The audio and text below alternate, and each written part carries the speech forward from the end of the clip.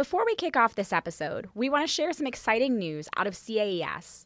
Our annual publication, Almanac, is now available online at almanac.caes.uga.edu.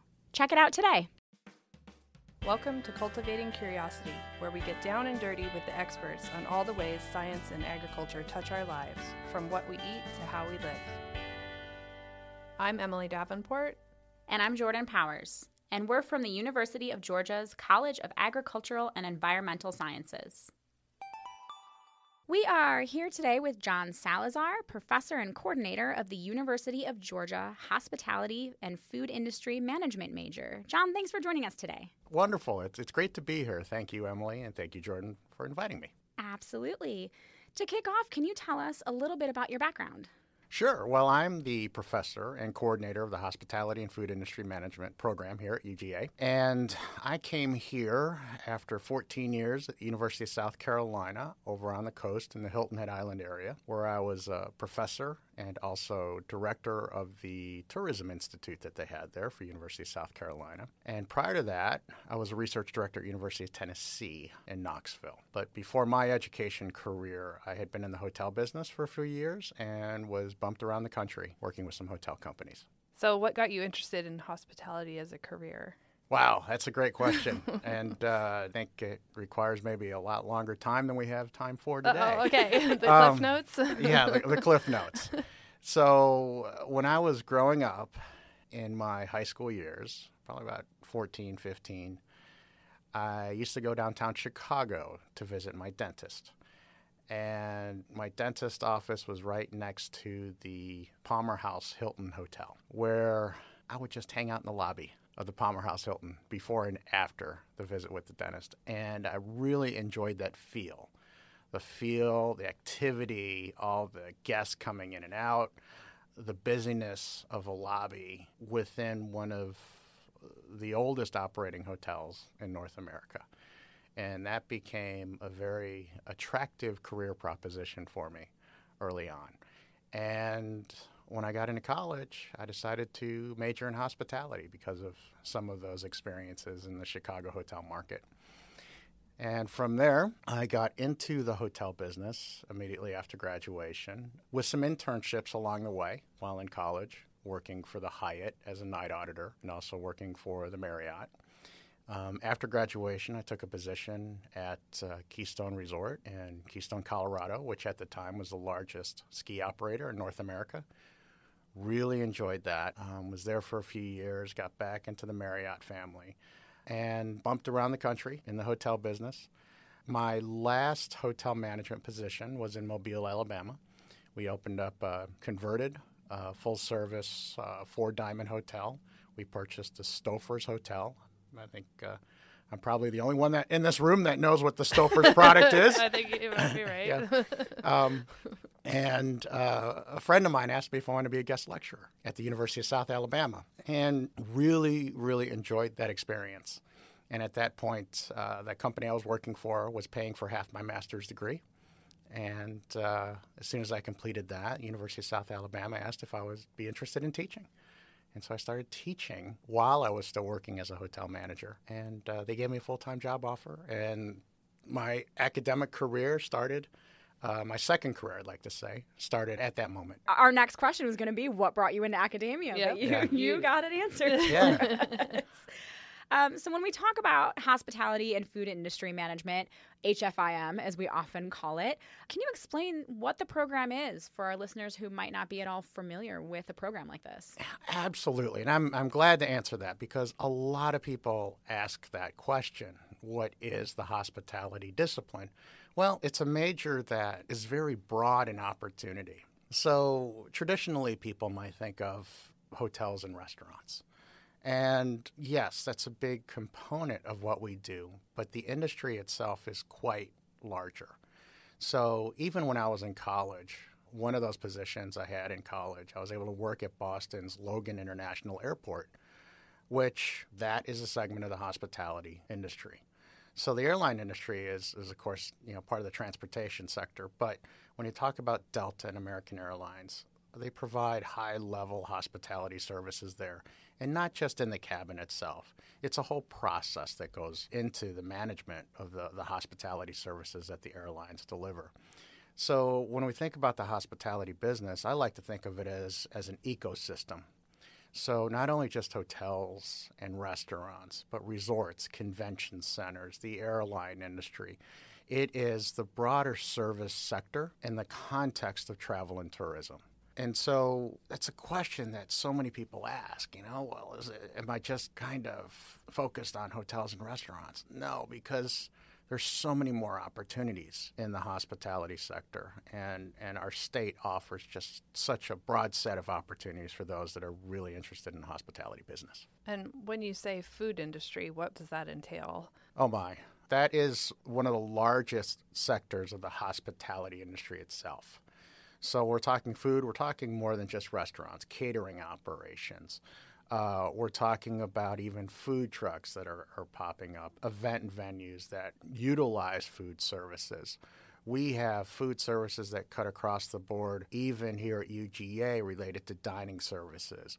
Georgia Athletic Hospitality, as, as, the food services are provided over at Sanford Stadium, over at Stegeman Coliseum. Those are all hospitality operations that require the business knowledge, but also the ability to design a, a, hospitality system to provide efficient and levels of service within a specific time period. So we have a great restaurant industry within Georgia. Uh, but it's more than just the restaurant sector. We have major conventions downtown Atlanta, which need the support of the food sector, which come through in catered operations, meetings and events, um, and the restaurant sector. And that leads right into my next question is in asking about what type of careers do students who participate in this program, what type of careers can they expect upon graduation? It's been an exciting evolution in the last four years because the opportunities our students are receiving after graduation run the gamut on the hotel side, on the resort side, on the meeting and event side even meeting and events that aren't related to the traditional hospitality discipline as we think it is, like the conventions, as you see in downtown Atlanta. We have students that are being hired by law offices and major tech companies and manufacturing companies as they need representation at meetings and conventions and events that are going on throughout the country. So our students are in their positions in those companies organizing events and organizing product rollout. And that's exciting because all of that requires a hospitality mindset regarding logistics, uh, regarding you know, when's the product going to be delivered, Who, what consumers are going to be there, how should we engage them in this process. And so it runs the gamut from hotels, resorts, country clubs. Uh, we have students at the Atlanta Athletic Club. We've had students down at Sea Island Resort and Club. We have them down at the Sarasota Yacht Club. Uh, so we're all over the place in the hospitality industry, and that's really quite exciting. Do you have students that are working on cruise ships and things like that as well? I have had students on cruise ships. We don't have a UGA alum on a cruise ship yet. Um, but I think we have them in most of the segments, for the exception of the cruise ship. That's incredible, and I love that you said "yet." We don't have someone on a cruise ship right. yet. Yeah. it's coming though. Yeah. Oh yeah, it, it is. For yeah. anyone who doesn't know John, he is nonstop, and I guarantee you there will be someone on right? a cruise ship very right? Soon. You just promote that. You get to see the world on a cruise ship. Yeah, absolutely. and the ocean. Sign me up. I think I've heard that most hospitality programs are usually housed in a business school, but not HFIM, which is housed within the College of Agricultural and Environmental Sciences. So, um, what does that mean for the program and the college? It's an advantage for us in our hospitality program. Historically, hospitality programs have a well established relationship within the colleges of ag. So, some of the older hospitality programs in the country had their starts in colleges of ag or in collaboration or partnership with colleges of ag. Now, in the last two and a half decades, the colleges of business have been popping up with hospitality programs. And that's been exciting. And I think that's really helped us elevate this discipline in the university setting. However, being in the College of Ag, I believe, it gives us a little bit of a flexibility in terms of the curriculum. So when we look at historically those College of Ag programs, they were rooted in colleges of ag because of their relationship to food. Now, when we look at our industry as a sector, the restaurant industry carries the largest employment. Gosh, you can't get away from the food sector in the hospitality world, right? If you're staying in a hotel, you're gonna you're gonna have to eat. If you're going to a convention, you're gonna have to eat. It's a very important component of it. The nice thing about being in the College of Ag, it rounds out our ecosystem here.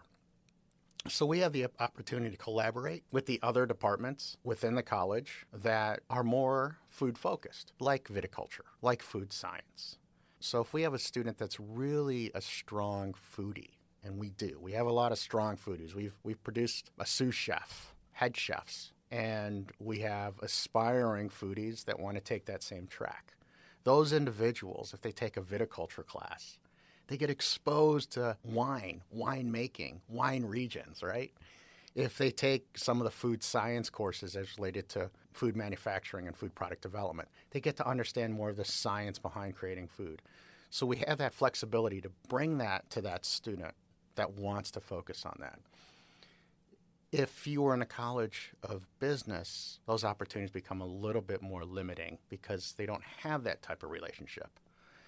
And so that's what makes it really exciting for us to be in the College of Ag is those partnerships with our departments that are able to share with with us their passion for food, which is a primary component of the hospitality sector. As a aspiring foodie myself, I'm like, yes, it all comes down to food always.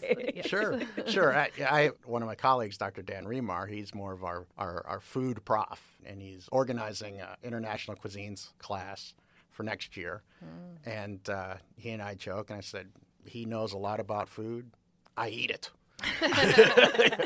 right. Yeah. There you go. Yeah. You need both ends of the spectrum That's right. because if you want to be a head chef, you have to have someone to eat what you're making. Exactly. Yeah, it's a good partnership. Yeah.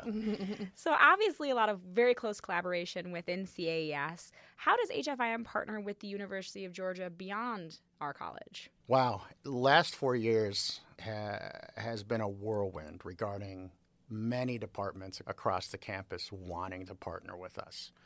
Just recently, we've had the nutrition and culinary program out of Family and Consumer Sciences reach out and figure out how to partner up with us. We've been working with the, the College of Environmental Design and uh, with one of our classes, we've kind of taken them on in our classroom to help them create a better event for their program. And, and our students have done that two years in a row now.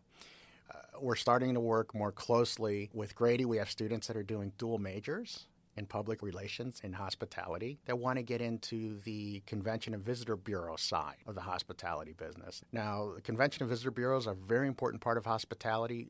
They are the ones that bring the hospitality community to life for potential visitors and guests, which is responsible for marketing and advertising a community. Well, if you have a a PR and hospitality background, you kind of understand how the market segments work and then how to communicate to those those potential guests that are coming into your community. So that's really exciting. And outside of the academic component, we are now starting to work with the Innovation District collaborating with the Innovation District and the Small Business Development Center and delivering a hospitality entrepreneurship uh, workshop this fall. Where if you are in the Athens market and you want to start a restaurant or start a hospitality venue, event venue, and we're going to come in, we're going to talk a little bit about hospitality service, segmentation. SBDC is going to talk a little bit about the loan opportunities available in the marketplace. The SBDC is the UGA Small Business Development Center, which provides tools, training, and resources to help small businesses grow and succeed. Designated as one of Georgia's top providers of small business assistance, the SBDC has 18 offices across the state to serve the needs of Georgia's business community. We'll include a link in the show notes for you.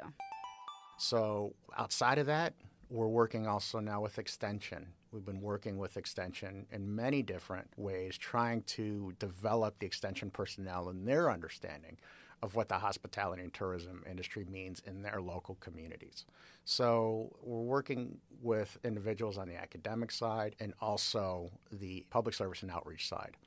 Our biggest partner and probably our competitive advantage as far as a hospitality program is concerned is the Georgia Center for Continuing Education and Hotel. We have many of our students that work there part time, many of our students that complete their internships there, and that is our learning lab.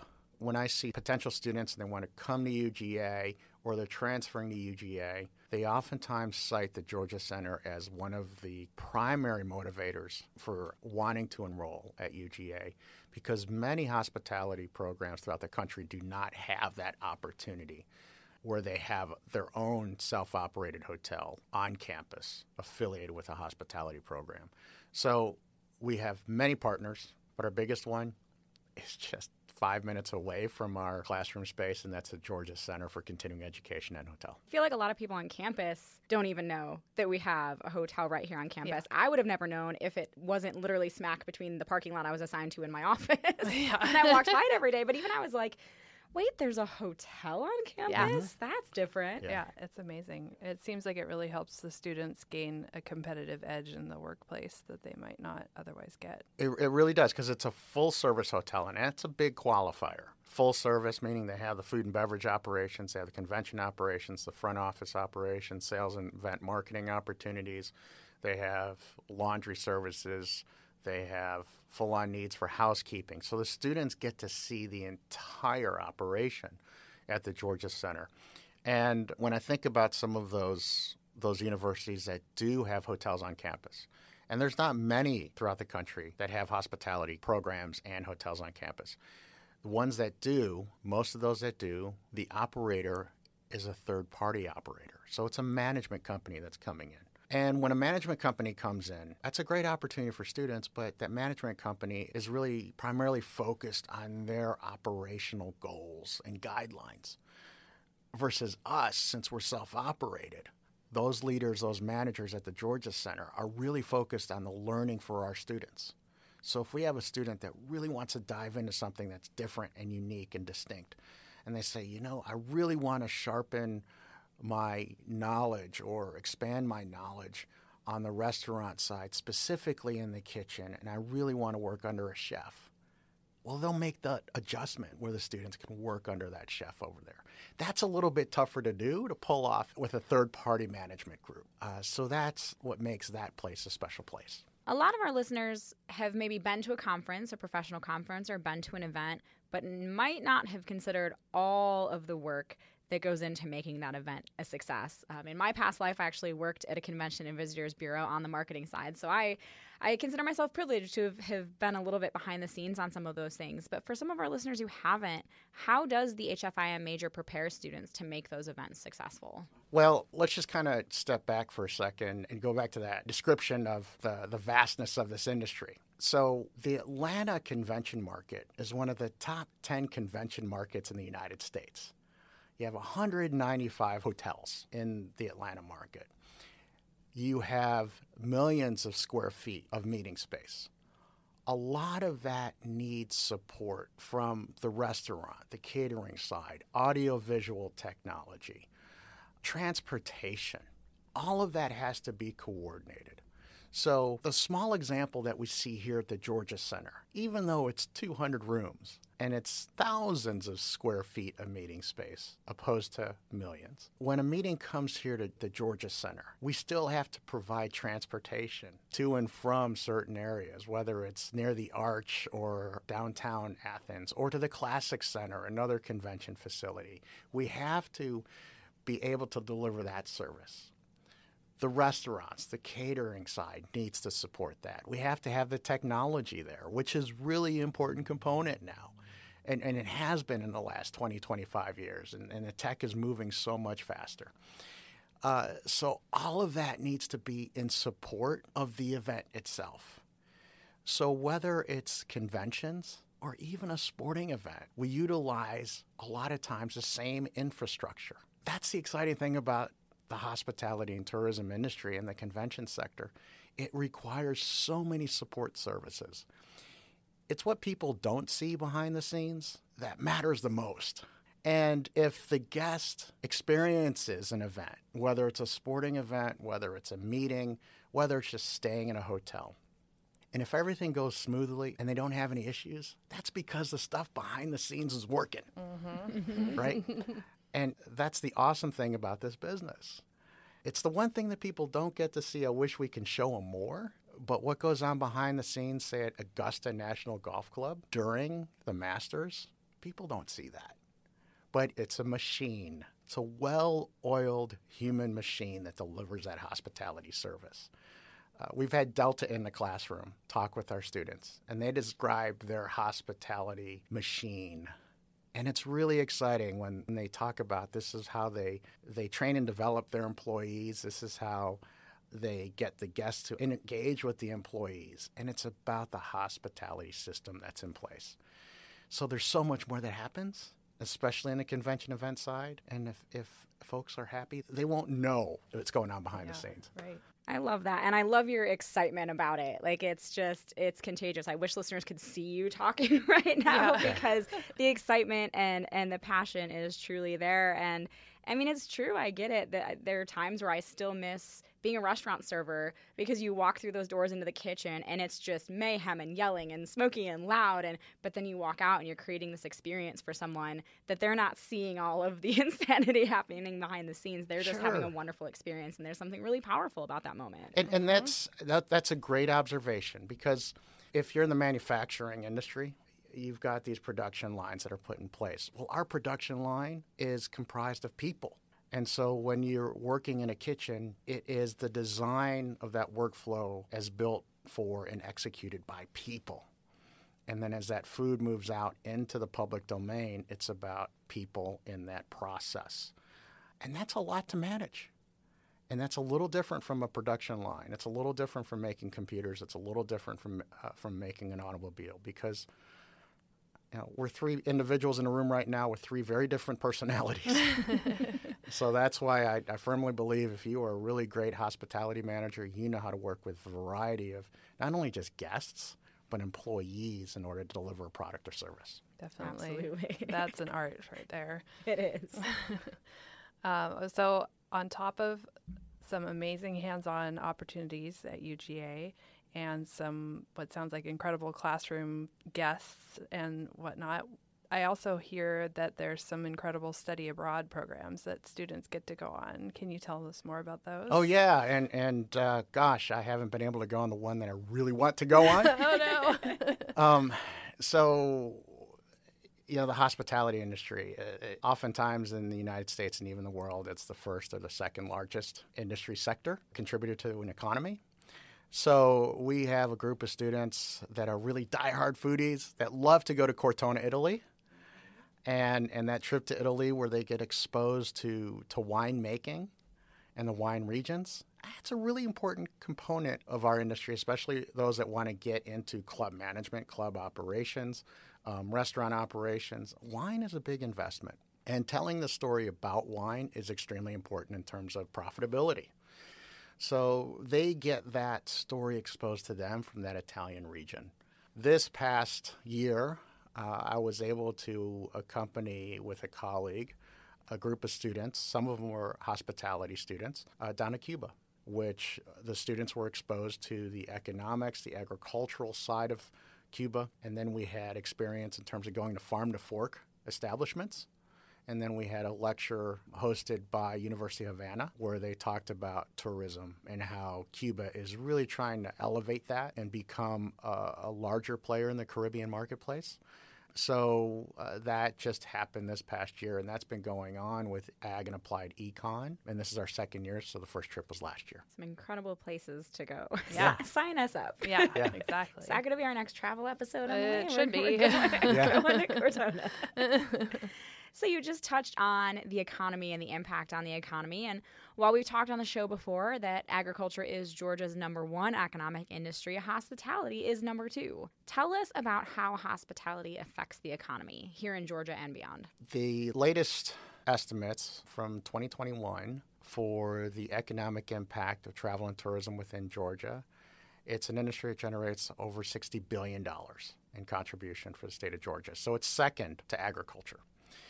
Now, what that translates into is over 400,000 positions. That's a big chunk of our labor force.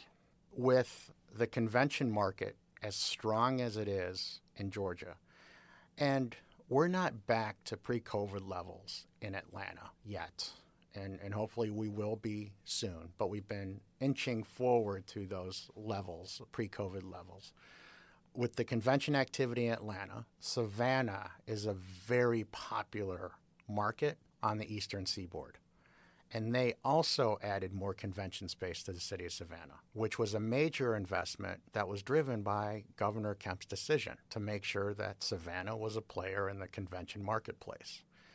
So we have not only Atlanta as a major convention destination, we have Savannah, which is growing in its convention demand, but Savannah's also been a great leisure destination, great destination for weddings, a great destination for leisure getaways.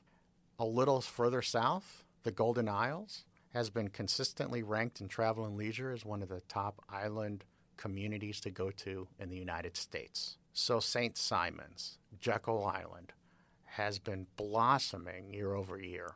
And then you combine that with the tourism for North Georgia that has been growing steadily in the last couple of decades with the Blue Ridge, North Georgia mountains. The economy within Georgia is getting more impacted by the hospitality industry because the growth and visitor demand has been increasing year over year. We have, according to Explore Georgia, Georgia Department of Economic Development, Georgia is fifth in its visitor market share in the United States, wow. which is really quite amazing. Mm-hmm. It's a big deal and we're one of the top 10 visited states in the country. When you combine what happens in Atlanta, the access, you know, Atlanta Hartsfield, right, the busiest airport in the world. We have great access to the world, and the world has great access to us.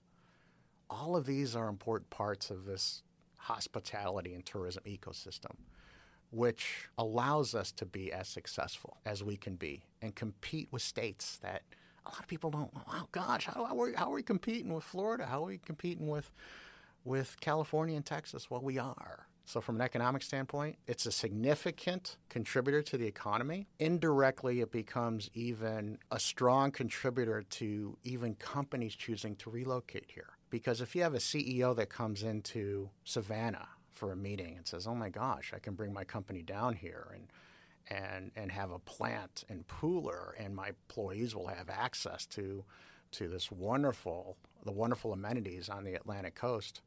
I think we might choose to do this.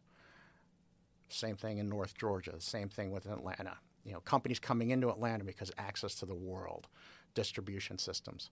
So if they're coming in for a convention and CEO sees that, that becomes very impactful and sometimes part of that decision process. I never thought about any of that. I love it. It's all behind the curtain. Right? It is behind the curtain. yeah. All those things to consider. It's all connected. A little bit ago, you touched briefly on partnering with Extension. And can you talk a little bit more about this partnership and how it impacts local communities across Georgia? Yeah. This is one of the new efforts, recent efforts for our program, where we now will have three faculty members, including myself, that have an extension related responsibility. We have devised an extension effort that focuses on first is the food, local food sourcing, also the development of operators within communities, rural communities, if they want to expand their agritourism component, add on a restaurant, create an event venue. We will help them develop those types of attractions on their property. We also are hiring a third faculty member that will be starting this fall. And she delivered for University of Missouri destination development courses for agritourism for the state of Missouri. So she's going to have more of an agritourism development type of uh, responsibility, working with convention visitor bureaus, Main Street organizations, and extension agents, really help them develop their rural attractiveness in the marketplace to, to, to really elevate their agritourism interests. I'm in that hotel slash restaurant slash development world, so I kind of toggle both. And this will be one of the few hospitality extension efforts in the United States tied directly to a hospitality management program. So this is really quite exciting. Yeah. So exciting. I Yeah. know. I just, Yeah. like I said, I wish people could see you talk Yeah. because they're so, you're so excited. Yeah. So uh, one of the first programs is is that program with the Innovation District, where we're creating a, a seminar for hospitality entrepreneurs. The other one is that we're be, we'll be developing an agritourism workshop for farmers that want to figure out how to maximize profitability on their land and maximizing it by developing hospitality operations. so cool. we're looking to roll that out for the fall. What an incredible opportunity. Mm-hmm. Wow. So we know there's a lot going on in HFIM between these exciting partnerships, between the constantly expanding student numbers. We also know that the niche rankings of best colleges with hospitality and tourism management degrees just came out, and HFIM was ranked fourth in the country among all private and public universities, and first among all public universities, which is incredibly exciting. I also know that you are not one to rest there. Uh, what is in store for the future of HFIM? Wow. As, as I had said earlier, we have a third faculty member that's coming in, uh, and she's going to contribute to the extension mission. And we also have Dr. Dan Remar that's contributing to the extension mission as well. So that is going to take up some time as we move forward. As far as the curriculum is concerned, we will continue to tweak our curriculum to retain this attractiveness of our program. Again, being in the College of Ag becomes really important. It gives us the ability to create a dynamic program that becomes very attractive to potential hospitality students. So, in the upcoming year, we're going to be offering an international cuisines and cultures class taught by Dr. Dan Remar. And that helps us dive a little deeper into food and beverage, but we're also going to be delivering a beverage management class. And that's going to be in collaboration and partnership with the Georgia Center across the street. And, and that's where students are going to understand a little bit more about the process behind some of the beverages that we deliver in the marketplace, which is a really important part of profitability for a restaurant. And it's also probably the part of the restaurant that loses the most money quickly. So being able to manage the beverage component of restaurant operations is the difference between success or failure. So we'll be delivering a beverage management class as well. We're diving a little bit deeper into that food component. We'll continue to explore the possibilities and potential, but also we have great opportunities to increase our programming with the Georgia Center, creating more opportunities for our students, whether it's in sales and event management, revenue management, helping out in human resources, elevating our programming with the Georgia Center and integrating that a little bit more into our curriculum will allow us to continue to grow in these rankings as well. So much work ahead, but all for a very good reason and Yeah. really good payoff, it sounds like. Definitely. All right. Well, now is a new section of our podcast that we are trying out, which is audience Q&A, and we asked some people on Instagram. Okay, so we asked what has made a hotel stay more memorable for our audience, and a couple people chimed in. MM Lemire answered that kind people and a welcoming environment, and Sue Meyer Smith answered when someone at the hotel went out of their way to do something nice. So, how is the HFIM program training students to provide memorable experiences like this for people? I really love that your audience said that because what it points out is the people aspect of our business. It's not the fanciest infrastructure, it's not the best menu. It's about people. So, on day one in our classes, we talk about this being a people centered business. You have to be a people person. So, we learn that on day one, and we teach that in our curriculum throughout all of our courses about developing systems to help execute a level of service that exceeds guest expectations. So, one of the other things that came up in a lot of the answers that we received from the audience was mentioning the importance of hotel cleanliness and dining room cleanliness, especially in the light of COVID, of course. How does this might be a kind of a different question, but how does the industry prioritize cleanliness and what impact did COVID have on these practices? Boy, I, I love this question. And why do I love this question? Because I have experience as an executive housekeeper for large properties. And before COVID, executive housekeepers in the in the U.S. they're they're kind of like how do I say it? They are the they are the sergeants and the drill sergeants. They are on the front lines of the industry. The, the, housekeeping workforce within a hotel is oftentimes the largest single, yeah, single division of employment within a hotel. So oftentimes that executive housekeeper has the most employees. And prior to COVID, there was some, you know, respect for it. But after, oh my gosh, people started re- realizing how important cleanliness really, really was and is. Now we have collaborated with the Georgia Center in terms of a guest satisfaction survey and room cleanliness is one of those leading predictors of guest satisfaction. So it is one of those number one attributes people are looking for. Well, we've covered a lot today from all the student opportunities available with, with the HFIM program and all the way to the impact of hospitality on Georgia's economy. What have we missed? I'm astonished and amazed that our program has grown so so exponentially in the last 4 years. And I think that growth is demonstrative of students, potential students that they wanted this major here at UGA, but it's also a signal that the state of Georgia wanted it because the partnerships and the collaborations we have across the state of Georgia, whether it's the Georgia Department of Economic Development, Explore Georgia, or Sea Islands, or Augusta, or Callaway Gardens. The industry has been, I guess, crying out for this. And they're showing that by how they're engaging our department. And that's exciting. Pretty incredible. Well, thank you for taking the time to join us today. Uh, we learned a lot, and I thought I had a little bit of an inside scoop on the industry, and I learned a million and two things today. Uh, thank you so much for taking the time to tell us a little bit more about the program. Thanks for having me. Thank you. Thanks for listening to Cultivating Curiosity, a podcast produced by the UGA College of Agricultural and Environmental Sciences. A special thanks to Mason McClintock for our music and sound effects. Find more episodes wherever you get your podcasts.